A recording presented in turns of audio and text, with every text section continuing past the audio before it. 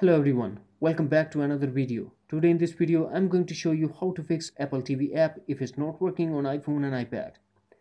When we open TV app, it shows no video. Now we are going to get videos in this app.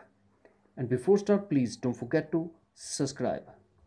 The first thing that we have to do, go to settings and connect to Wi-Fi, then tap on your profile name. Now tap on media and purchase and tap view account. Here we have to use Apple ID and password or Touch ID.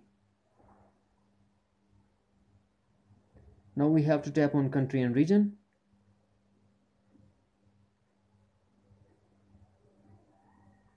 On that page, we have to tap again, change country or region.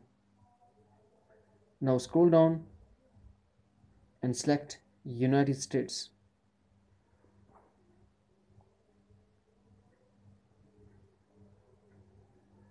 After selecting United States, tap on Agree. Tap Agree again.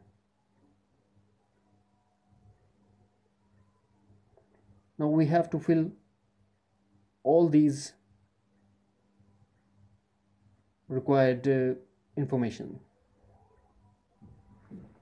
After putting all of your information, we have to tap on Next.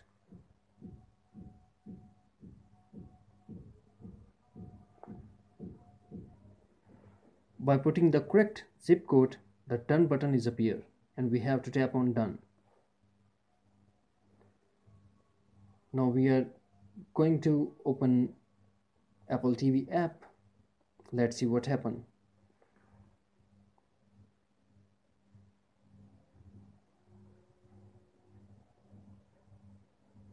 After searching some time, you will get Apple TV videos here